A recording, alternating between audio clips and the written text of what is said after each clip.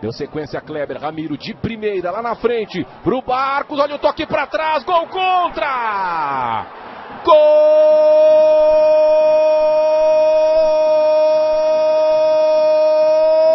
do Grêmio!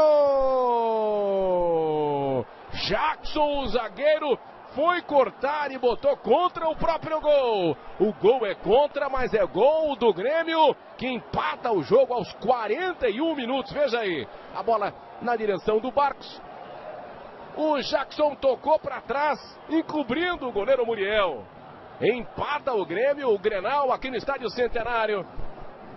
Toda a lamentação do zagueiro do Internacional, do jovem zagueiro Jackson se precipitou no lance, né? Ele não, não, não precisava tocar na bola da maneira como ele estava tocando, sem, sem certeza, podia fazer qualquer outro lance, podia inclusive cabecear para desviar do, do barco, se precipitou, tentou afastar para a linha de fundo e bateu a mão na bola.